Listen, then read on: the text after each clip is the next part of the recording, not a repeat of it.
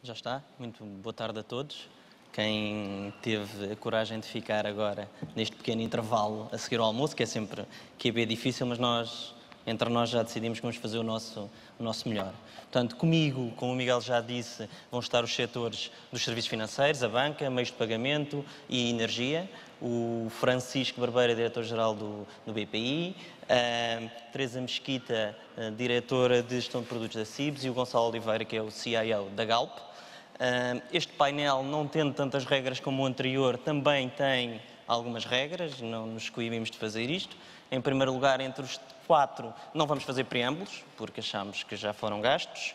Em segundo lugar, não vamos utilizar referências a Uber, Amazon e, especialmente difícil para a Teresa, multibanco, porque também já foram bastante utilizados como exemplo nesse congresso e vamos ver se conseguimos até ao fim fazer isto. E, finalmente, também difícil, vamos tentar discutir disrupção digital sem dar muitos exemplos das empresas onde uh, os meus co-painelistas trabalham e procurando centrar-nos nos setores, que foi um dos desafios que assumimos para nós próprios antes de, de iniciarmos. E, portanto, sem mais demoras, vamos procurar, em primeiro lugar, uma pergunta para a Teresa. Um, nos meios de pagamento temos assistido a uma grande disrupção no, nos últimos tempos. Uh, Portugal tem tido um, exemplos claros disso, mas no estrangeiro também. O que é que vê por detrás desta grande evolução que houve e que se perspectiva que vai continuar a acontecer para estes meios de pagamento cada vez mais digitais e cada vez mais desmaterializados? Queria começar por agradecer a oportunidade de estar aqui também à, à PDC e é com muito gosto também vimos um bocadinho partilhar a nossa experiência e como é que nós entendemos estes desafios do digital e como é que as empresas portuguesas uh, se devem preparar para, para, para, este desafio. Portanto, respondendo então à, à, questão concreta, como é que nós vemos estas transformações, portanto, muitas delas têm de facto uma origem muito tecnológica e o que tem levado a que seja feita muita experimentação em termos de aplicar a tecnologia à forma como pagamos, mas nós acabamos por enquadrar isto um bocadinho também como algo que vem puxado pelo próprio consumidor, ou seja, não, é, não basta a evolução da tecnologia, tem que de facto existir aqui uma resposta a necessidades concretas deste novo consumidor digital, de que já se falou uh, imensamente durante, durante este, este congresso. E o que nós assistimos é que, de facto, não é só uma questão de aplicar a tecnologia, é de a saber aplicar bem para responder a estas, a estas necessidades. E isto tem sido um enabler, um enabler de muita experimentação que se tem feito no mercado e, portanto, nós sabemos que isto é uma das áreas, a área dos pagamentos, dos fintech, e em particular dos pagamentos dentro das fintechs, é uma área onde tem havido muita experimentação e que essa experimentação, de facto, tem contribuído enormemente para que nós comecemos a evoluir a forma como, como, como queremos responder a este novo consumidor digital. E isso vem do facto de que este consumidor está mais ligado, está conectado e vai transformar a forma como compra. E aqui temos, falaria um pouco, nós costumamos dizer que estamos numa, numa área em que ninguém quer pagar propriamente. Portanto, o pagar é a pior altura do, do momento de uma, de uma, de, em que nós vamos comprar, é aquele momento em que nos vamos separar dos nossos euros. E, portanto, não é esse o acto que nós gostamos, o que nós gostamos é do percurso de compra e, portanto, aqui a nossa missão e o, quando nós tentamos enquadrar o pagamento no percurso digital da compra, a nossa missão é, de facto, tornar esse passo do pagamento o menos doloroso possível ou o menos intromissivo possível. E isto é o que esta tecnologia é enabler e isto é o que muitas destas startups ou não startups e outras grandes empresas tecnológicas têm vindo a experimentar e a trazer novas experiências e com tudo isso quem, quem sai a ganhar de facto é o consumidor final e é isso que nós acreditamos. E, portanto, muito nessa linha é que nós também temos, trouxemos o multibanco também para o smartphone, para trazer Perdemos, o... já sabemos, íamos perder, perdemos. é impossível. Pronto, agora um de vocês falar... tem que falar do Uber e o outro tem que falar da Amazon para... Então eu posso falar, em vez de falar do multibanco, vou falar do MBWay, que é o multibanco no smartphone, precisamente.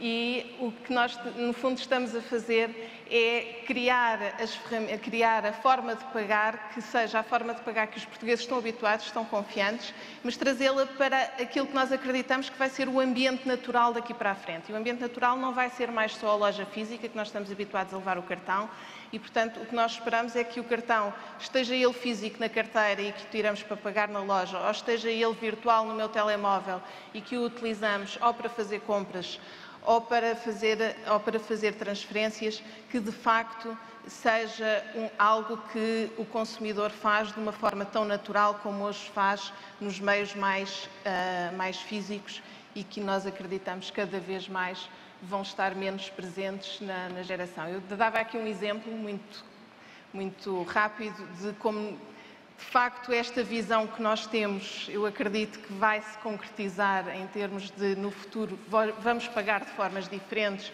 e o smartphone e outras tecnologias de mobilidade vão estar muito no centro disso. Ah, eu, a semana passada, o meu filho precisava de um livro para a escola, então, online, peguei no tablet e comecei a fazer com ele a compra. Fui à loja online, escolhemos o livro e, no final, eu disse ao meu filho, com o meu ar de modernidade, olha, a mãe agora vai pagar com o telemóvel. Pus o número do telemóvel, recebi a minha notificação no MBWay, escolhi o cartão, paguei, achar que iria impressionar o meu filho, que se virou para mim e me perguntou, so what? E, portanto, de facto, para eles isto é o contexto natural o, ter que ir fazer qualquer outra coisa que não fosse isto, para eles seria o não natural. É um bocadinho fez-me recordar quando tive que lhe tentar explicar o que, é que era uma máquina de escrever e que no final lá consegui explicar que aquilo era uma espécie de teclado de computador, mas ele não percebia para que, é que era o papel.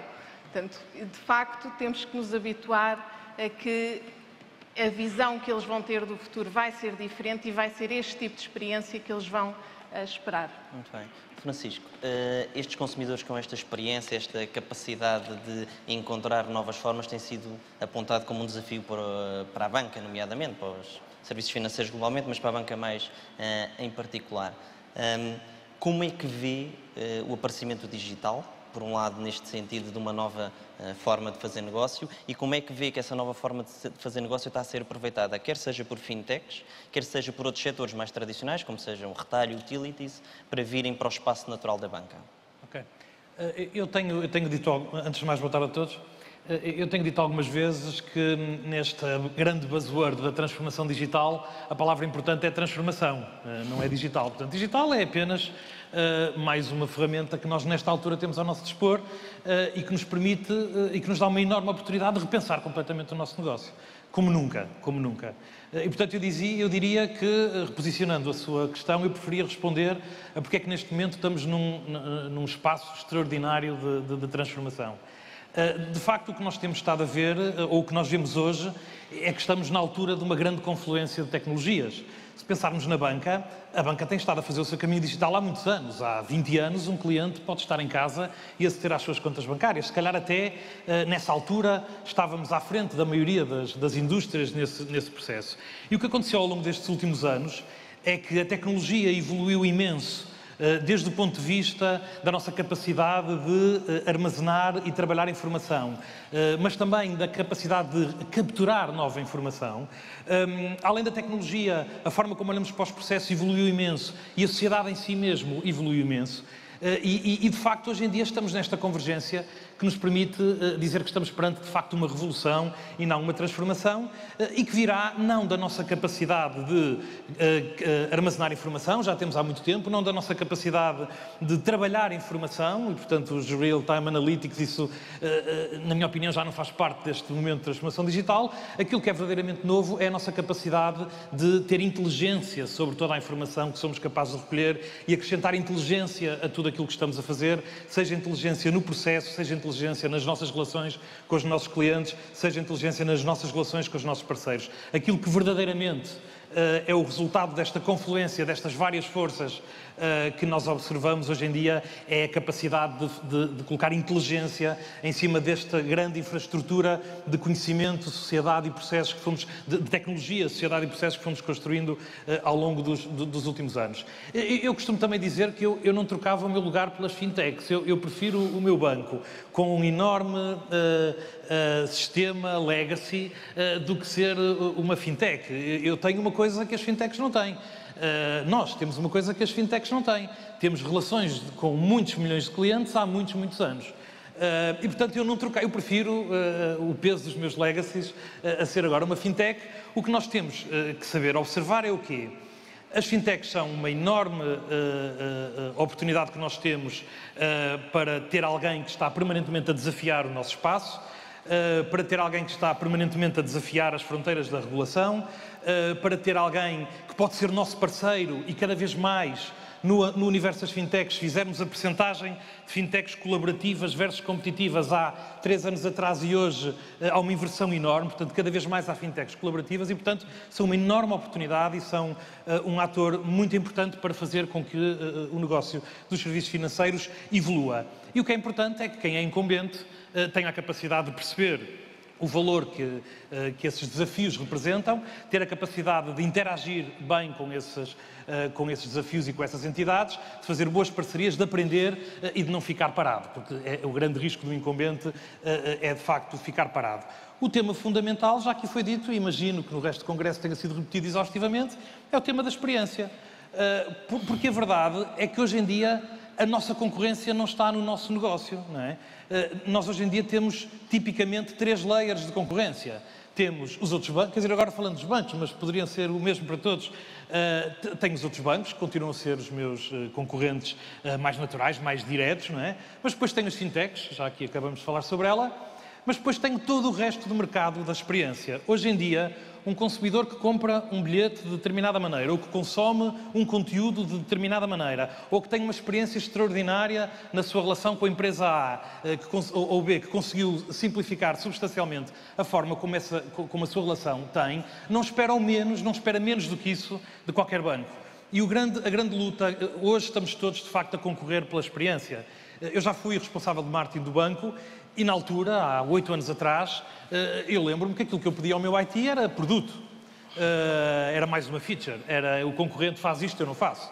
Bem, hoje em dia, eh, aquilo que eu observo, sendo responsável pelo IT e pela transformação digital, é que o foco é cada vez maior na experiência. Aquilo que de facto diferencia, me diferencia da concorrência e me diferencia daquilo que não era a minha concorrência tradicional, é de facto eu ser capaz de capturar o tempo de atenção do cliente uh, e ser capaz de ser relevante na forma como capturo o, tempo de experiência. E para terminar, uh, para dar uh, mais umas quantas voltas, é relevante também dizer que, que no caso da banca em particular nós temos uma oportunidade gigantesca.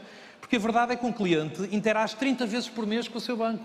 Uh, e isto aumentou substancialmente com a introdução da banca móvel. De facto, a banca móvel uh, e o tema da mobilidade para a maior parte das nossas organizações é um fator fundamental desta revolução, porque nós podemos estar com o cliente onde quer que ele queira e no momento que ele quer, e há uma proximidade muito grande, há a capacidade de aproximar substancialmente o tempo da necessidade do tempo da entrega de serviço, e então se juntarmos aquilo que eu disse antes, se a nossa capacidade de inteligência for cada vez melhor, há uma capacidade cada vez maior de antecipar e de saber, antes do cliente saber que ele vai precisar de determinada coisa, eh, mas dizia eu, um cliente interage com um banco 30 vezes por mês. Eh, eh, e, portanto, quais, que indústria ou que outras indústrias é que podem afirmar isto desta maneira? E, portanto, temos uma enorme oportunidade de ser cada vez mais relevantes para os nossos clientes, de fazer cada vez mais parte daquilo que é a sua experiência de vida e, portanto, esta, esta revolução, mais uma vez para terminar como, conheci, como comecei, é uma enorme oportunidade de nos repensarmos de uma ponta à outra. Certo. Gonçalo, a Galp, tendo, sendo uma empresa tradicional e com um conjunto de negócios, tem uma parte industrial muito significativa e onde esta transformação, pegando aqui nas palavras do, do, do Francisco também, poderá estar a acontecer e poderá estar a acontecer, mas de uma forma diferente, uhum. longe do cliente, mais no processo industrial, no IoT, no uhum. Indústria 4.0, como lhe queiramos chamar. Eh, como vês isto na tua indústria e que vês o que é que tens eh, percebido que são as oportunidades eh, para a transformação do negócio como um todo? Obrigado, Manuel. Um, boa tarde a todos. É bom estar nesta casa. Eu há dois anos que já não vinha cá e é com muito prazer e agradecer o convite aqui à, à direção da APDC e ao professor Rogério Carbuza. Antes de mais, deixem-me fazer aqui uma, uma nota de agradecimento ao Francisco, que sintetizou aquilo que nós na Galp pensamos sobre a experiência do cliente e, portanto, eu não vou elaborar sobre essa matéria. Uh, faço minhas as, as tuas palavras. Uh, a preparar-me para, para vos comentar um bocadinho de alguns destes temas, eu, de facto, tenho o privilégio de estar numa indústria, uma indústria que, capital intensivo, como a indústria de telecomunicações é, e que enfrenta uh, desafios que vocês conhecem de talvez há 10 anos para agora nós estamos a assistir na, na, na, indústria de energia a discussões que, que vocês acompanham, eh, que são permitidas, como, como o Francisco ilustrava muito bem, por uma confluência de tecnologias. Eu hoje sou uma pessoa relevante na Galp e já não sou o, responsável que estava na subcave menos 3 a tomar conta da sala técnica onde chegavam os cabos de conectividade e se ligavam aos servidores que lá, que lá estavam. E porquê? É por causa do IoT, realidade aumentada, virtual. Um, nós agora já estamos a fazer experiências em narrowband e, portanto, uh, isto vai evoluindo. Uh, e nesta semana eu estava a dizer que não estava a pensar pôr uh, uma rede privada da LTE na refinaria de Sines, mas há outra questão, não em Sines. E, e porquê? Porquê é que a pergunta do Emanuel tem sentido?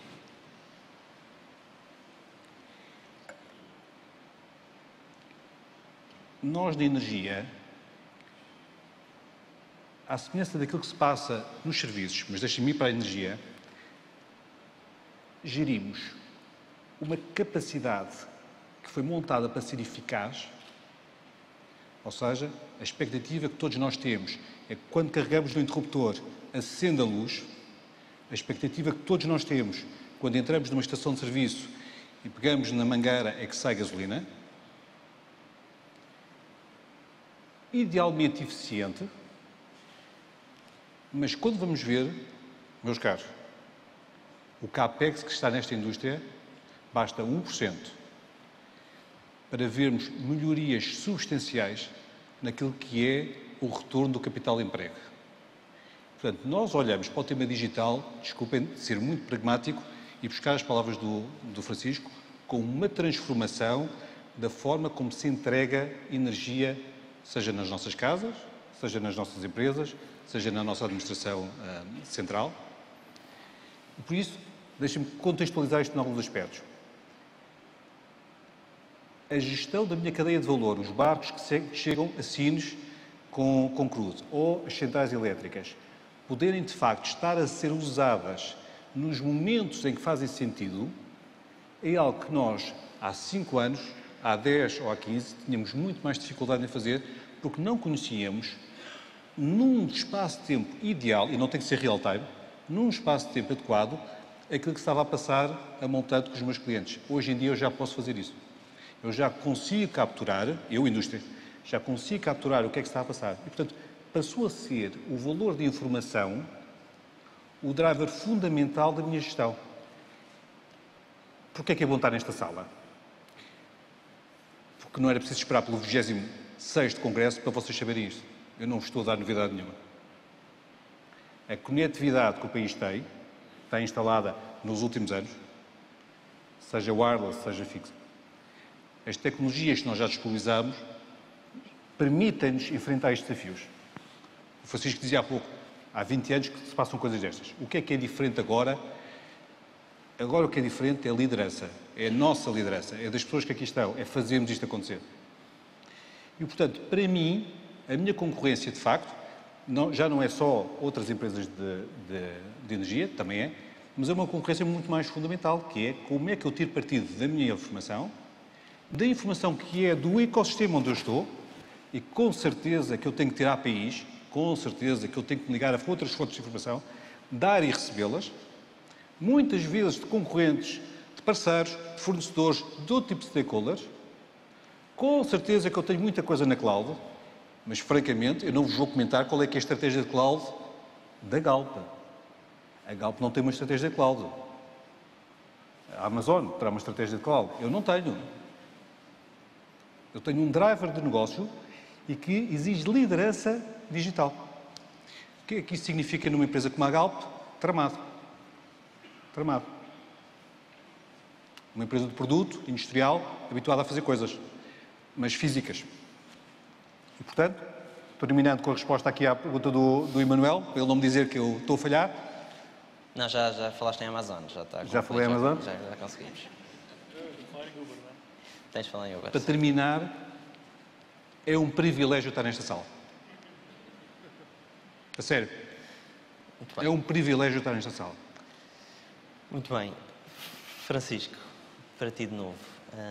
Nós contamos a falar e já tocaste uh, aqui neste ponto, mas acho que era um ponto interessante no tema da experimentação e no tema das alterações do que esta transformação está a fazer em termos de, de modelo de negócio. Nós, nos últimos anos, temos associado aos serviços financeiros, uh, eventualmente a seguir ao mídia e às telecoms, a área que está a ser mais desafiada por este tema, não só ao nível da tecnologia, mas fundamentalmente na forma como trabalha no seu modelo interno de negócio. Como é que tu vês os casos de sucesso da indústria a, a, trabalhar com esse tema? Como é que vês a experimentação? Como é que vês isso no, na atividade de core de um banco? Sim. Bem, eu diria, para começar, que, que, infelizmente nos últimos anos a banca perdeu alguma liderança no tema da transformação digital uh, para outras indústrias, para a indústria do retalho, por exemplo, um, porque de facto tivemos todos, como todos sabem, não é, muito uh, ocupados nestes últimos anos com temas de, de capital e liquidez e regulação eh, mas eh, nós mantemos esse fantástico ativo que eu disse há pouco e que algumas destas indústrias não têm, que é um contacto regular com os nossos clientes. Eh, e neste momento há um investimento muito sério em muitos bancos, nos quais o BPI se inclui, ehm, de facto neste tema da transformação digital, na transformação de todo, de todo o negócio. E aqui o tema da experimentação é eh, absolutamente fundamental. Como eu disse há pouco, como aquilo que faz a diferença é cada vez mais a forma como eu me apresento ao cliente, hum, eh, é, é cada vez mais fácil disso ser desafiado. Ser desafiado pelo próprio cliente e de ser desafiado pela concorrência. E, portanto, a, verdade é que essa experimentação passou a ser um ato contínuo. E isso significou alterar a forma como as pessoas dentro do próprio banco e dentro da, da, da indústria uh, olham para as várias matérias. Por exemplo, uh, nós temos 70 equipas a trabalhar em Scrum, em metodologias Agiles, em Kanban, não é? Portanto, quer dizer, isto não existia há 5 anos atrás, não é? Uh, nós fizemos um trabalho enorme uh, uh, no nosso pilar da arquitetura empresarial para sermos mais ágeis. Isto não era uma prioridade há cinco anos atrás. colocamos como prioridade absoluta uma total renovação de infraestruturas e de telecomunicações para sermos mais ágeis. E como dizia o Gonçalo, não porque isso fosse a estratégia em si mesmo, mas porque isso é o meio, para sermos mais ágeis. E além disso, adotamos uma atitude de experimentação constante. E eu, gostava de fazer uma referência que, me parece interessante partilhar, que é o seguinte. Portanto, nós temos uma, uma, uma, uma unidade uh, no banco que é responsável pela transformação digital. O que significa isto é que é responsável por garantir que todos participam na transformação digital. E, portanto, é, tal como alguns dos oradores anteriores aqui disseram, o tema da transformação é um tema que tem que ser de toda a organização. Nós colocamos uma unidade a, a, a estimular essa participação de todas as pessoas e estamos a fazer uma coisa que chamamos de forma hum, até bastante uh, provocatória fábrica de transformação digital. Estamos aqui a usar esta palavra fábrica de transformação digital com tom. Fábricas tens tudo, desculpa. Uh, aliás, é como o machine learning. Tu tens o machine Sim, e eu tenho o learning. Um, Uh, fábricas de transformação digital. O que é que isso significa? Nós, nós, nós neste momento, temos uma metodologia de transformação. Uh, uh, mesmo os próprios processos de transformação digital têm que ser aplicáveis, senão não escalam nas organizações. Portanto, nós montamos uma metodologia que nos garante a experimentação constante e que nos garante que conseguimos escalar este tipo de iniciativas. E todas as nossas iniciativas de transformação digital começam com design thinking. Todas. Todas as, as, as iniciativas começam com, com design thinking. E nós temos vários exemplos de vários produtos que lançamos. Por exemplo, o novo posto de trabalho de, de, do gestor financeiro do banco, uh, que é completamente baseado numa infraestrutura de um híbrido, de, de, um modelo de software que é completamente. abandonamos as velhas aplicações e orientamos tudo à app, à app que encerra a experiência, bem como a plataformas de assinatura digital e de paperless, etc.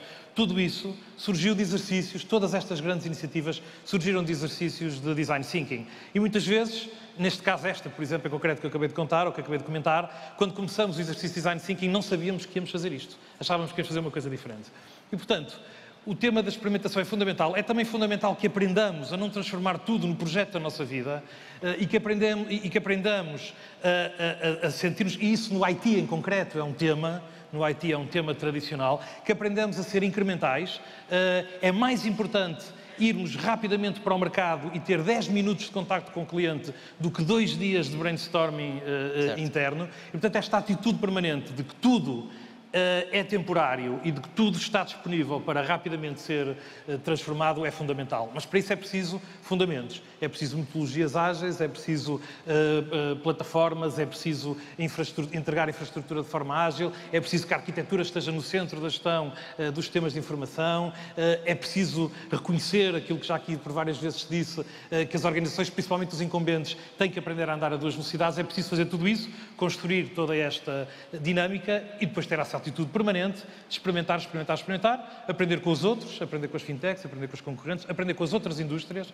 Cada vez mais a inovação uh, surge uh, nas, nas interseções entre as múltiplas indústrias e, portanto, essa atitude é algo de, de, de muito novo uh, nas nossas indústrias e que, neste momento, eu diria que é a atitude, pelo menos no caso do, BTI, do BPI, no caso do BPI é, e no caso do IT e das áreas de transformação digital no, no, do BPI, é a atitude dominante. Certo, muito bem. Deixa-me tocar no tema do machine learning, porque é um tema muito, muito caro. Um, caro dispendioso? Caro, caro mesmo que... também, só que tenho máquinas. E, e, fazer este learning é complicado, porque é, eu se tivesse que escolher um tema para vos comentar à volta deste, deste aspecto, a transformação é, tem a ver com esse. Porque é uma, de facto é uma combinação de várias tecnologias, não é? uma tecnologia. Uh, o meu setor, uh, com estes investimentos massivos que aqui tem, que percebeu há alguns anos, e, e tu estavas um bocadinho a dar essas pistas, uh, percebeu há alguns anos que a, a nossa cabeça já não consegue capturar num indivíduo ou num grupo de indivíduos a ciência envolvida, seja a explorar petróleo, seja a montar redes inteligentes para distribuir a eletricidade. É mesmo difícil. E, sobretudo, o conhecimento que existe a nível mundial e que já é transparente a nível mundial, é mesmo difícil que qualquer empresa tenha esta captura de, de conhecimento. Há bocadinho estamos a ouvir a José de Melo e eu calculo que eles estejam também com esse tipo de, de abordagem, desde logo naquilo que é a saúde, que é como é que um médico conhece todo o research que é feito sobre uma determinada uh, patologia. Passa-se o mesmo na minha, na minha indústria. E, portanto, passou a ser, para indústrias que estavam habituadas a ter engenheiros do técnico e de outras boas escolas de engenharia. Uh, eu, como não fiz engenharia, estou à vontade para falar e, há bocadinho diziam que faltam engenheiros no país e assim, é, agora que eu e passou a ser necessário, de facto, haver sistemas cognitivos, machine learning que suporta este entorno. A minha indústria está a atacar sobre esta matéria e a minha empresa, se não tivesse, estaria a ficar para trás. Portanto, no nosso caso em concreto, isto passa por uma intensidade de máquinas a processar que faz a delícia de qualquer um dos fornecedores de hardware que esteja aqui na sala, uma intensidade de conectividade entre continentes que faz a delícia de qualquer um dos operadores de telecomunicações que vão falar a seguir no Estado da Nação, uma intensidade de código capaz de, de interpretar, seja em linguagens naturais ou não, aquilo que está ali a passar, que faz as delícias de qualquer programador que possa também estar aqui na sala, mas, sobretudo para mim, significa a possibilidade de estar a olhar para informação, no meu caso, só para dar este pequenino exemplo, eu tenho 56 projetos de exploração de petróleo. 56, em diferentes estados. No mundo, não há 56, há muitos mais.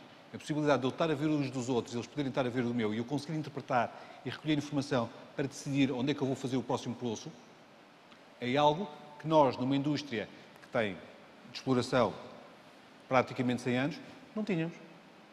Temos agora. Vai alterar substancialmente, machine learning, a forma como nós endereçamos o negócio de, de energia, seja na exploração de petróleo, seja em outras, outras camadas de, de exploração. Portanto, este aspecto de learning significa também que em organizações como a minha, o peso daquilo que eram as profissões habituais está-se a alterar. Este learning organizativo está a alterar-se uh, bastante. Acho que disse tinha a fazer qualquer coisa, não? Sim, sim, sim. Eu fazia uma, pegando na, na, tua intervenção, fazia uma pergunta à Teresa, que é, na indústria dos meios de pagamento, onde a CIBS uh, se inclui, onde é que vemos que seja esta uh, nova onda de investimento para, nesta transformação digital?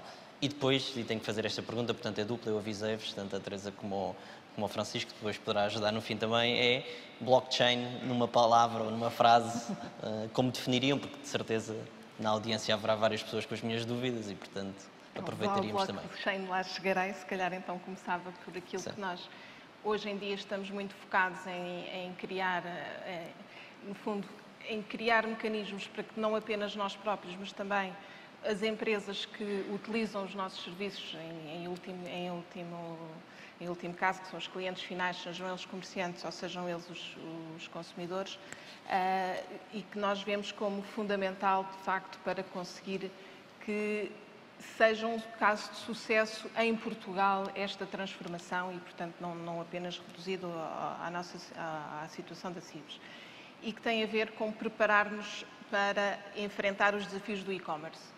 Portanto, já se falou aqui do uhum. e-commerce, já se falou que o e-commerce cresce a dois dígitos e é de facto um, um, e é um facto que nós comprovamos. O estudo da Accenture que, que apresentaram ontem uh, diz que o e-commerce em Portugal já representa 1,4% do, do retalho. O que nós sabemos também é que esse, 1,4, esse crescimento e esse 1,4% não é novo negócio, é substituição de canal, é consumidores que antes consumiam num canal e estão a ir para outro canal. E esse movimento vai acontecer, quer nós estejamos lá, quer não estejamos lá. E o que nós sabemos também que os nossos dados dizem é que em cada 10 consumidores que faz este movimento, que deixa de consumir na loja e que vai fazer essa compra online, 8 dessas compras são feitas em sites que não são portugueses. Portanto, o que isto significa é que, de facto, é verdade, estamos a crescer Uh, estamos a, está a crescer a dois dígitos, está muito abaixo da média europeia e, portanto, sabemos que o potencial e o caminho que vamos levar vai ser certamente aquele que está a acontecer nos outros países a uma, velocidade diferente, mas o, o, o, target vai ser o mesmo, portanto, países onde o comércio online já representa 5%, 10% do comércio que é feito. Agora vejam qual é que é o impacto que isto tem nas vendas, quando 80% daquelas, daquela migração de canal vai não para, no, para o nosso site, mas vai para o site da concorrência. E, portanto, isto de facto faz tudo parte deste percurso digital e as empresas portuguesas têm que estar preparadas. Os bancos têm que estar preparados, obviamente, em servir os seus clientes e, os seus, e os seus, as suas empresas e a CIBS também tem que estar preparada em trazer os meios de pagamento que são adequados a estes canais. E, portanto, isto é de facto um dos fatores nós, que nós vemos como essenciais e que tem, e que tem determinado muito aquilo onde estamos, onde estamos a investir. E onde estamos a investir é de facto a preparar os meios de pagamento para que sejam diferenciadores, para que os comerciantes que hoje estão a começar a migrar e outros que já estão no meio desse percurso, que é um percurso de aprendizagem contínua, e focando aqui um bocadinho, quando nós falamos de machine learning, nós temos concorrência neste mercado que já está a um nível muito elaborado de machine learning. E, portanto, há aí um percurso de facto a percorrer e os comerciantes nacionais e as lojas online têm de facto que estar preparadas para esses desafios e que terem fatores de diferenciação que servem os, os consumidores portugueses da forma mais efetiva, porque nós não conseguimos concorrer em escala, não temos essa escala de uma forma natural, portanto temos que o fazer servindo da melhor forma possível, com localização, com os nossos consumidores. E, portanto, naturalmente, aí sabemos que os meios de pagamento além de poderem muitas vezes ser vistos como um, um, desincentivo à compra online, por a desconfiança que alguma vez existe e que cada vez hoje menos acontece, mas os meios de pagamento podem de facto também ser um diferenciador uh, que não só potencia essa alteração de canal, mas potencia essa alteração de canal junto dos sites e dos canais que os consumidores estão mais uh, cómodos e mais habituados uh, a utilizar. E, portanto, nesse sentido, nós temos vindo a investir em APIs, APIs que os, que os comerciantes possam utilizar para aceitar pagamentos, sejam eles o referência de pagamento de serviços, que é um meio que não tendo sido criado na segunda vaga do digital, diria eu, hoje em dia já está na terceira vaga do digital porque foi completamente assumido pelos, pelos consumidores para fazerem compras online. Um, e é também as APIs para fazer as, as, compras por MBWay. E outra linha onde estamos a investir muito é na rapidez, no aumento da rapidez. O MBWay hoje já permite fazer algo que é único e, no, e é algo onde, mais uma vez, nós fomos pioneiros em termos dos países da zona euro.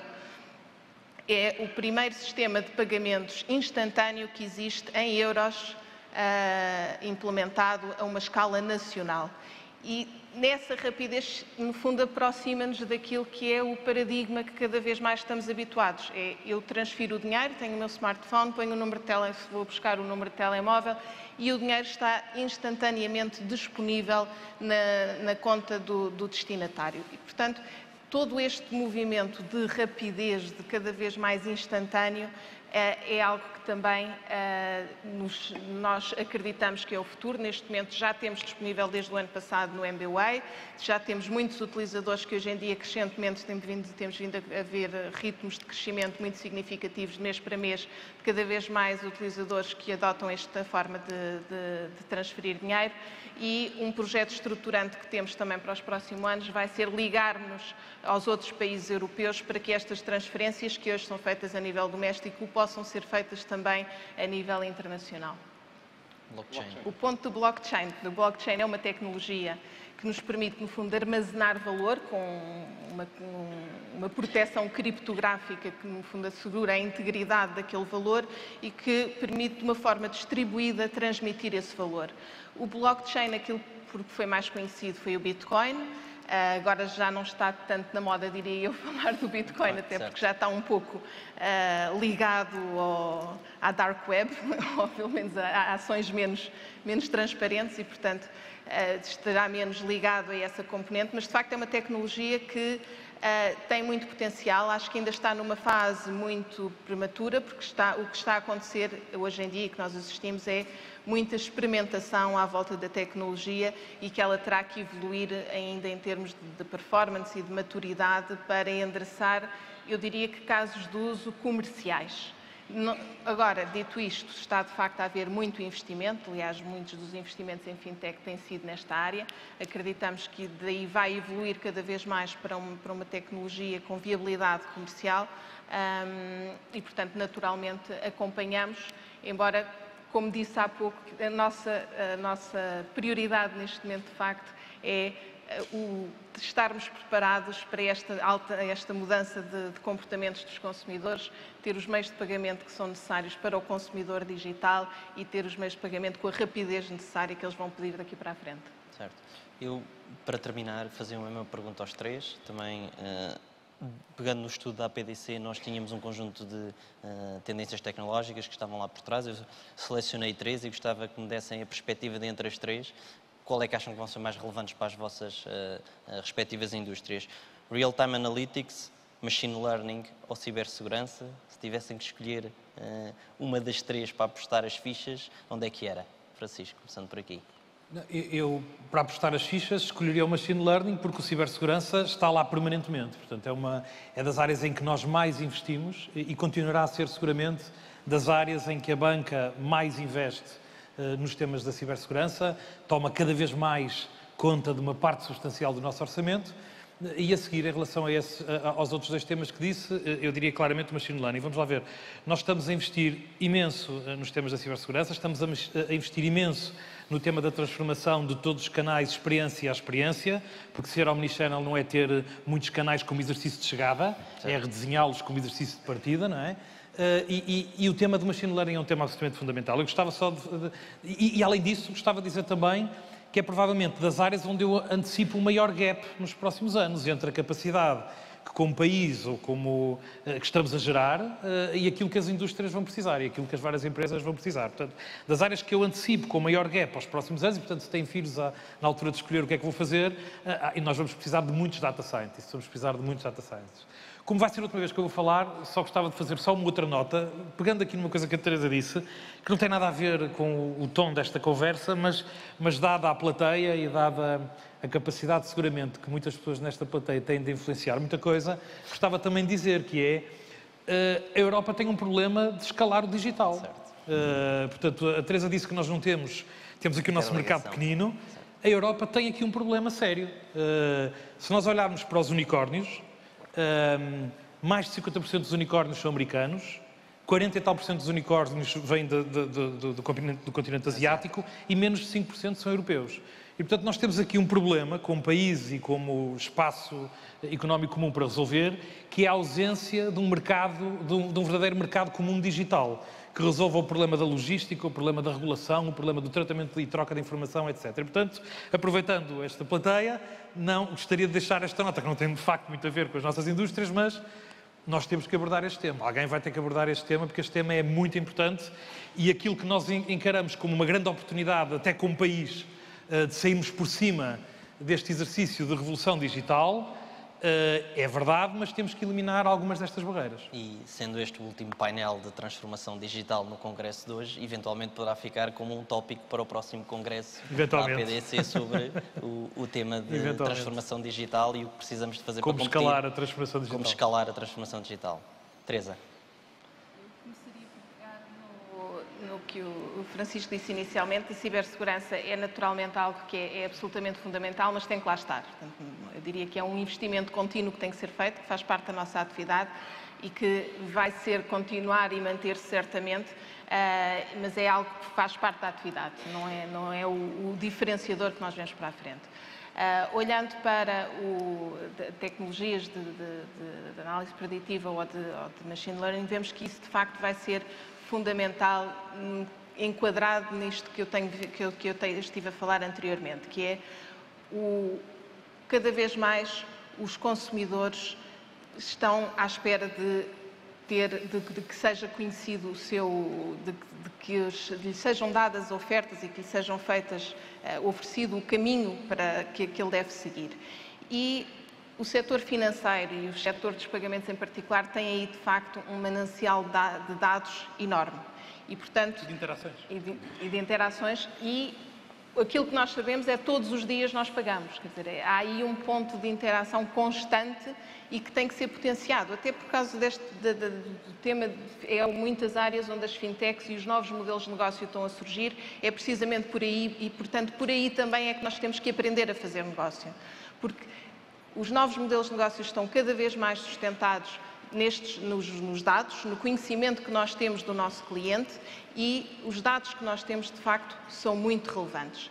Temos que, aprender, temos que aprender a explorá-los, temos que aprender a transformá-los em algo útil e em algo que traga valor, valor para as instituições, naturalmente, que estão a explorar e valor para, para o consumidor.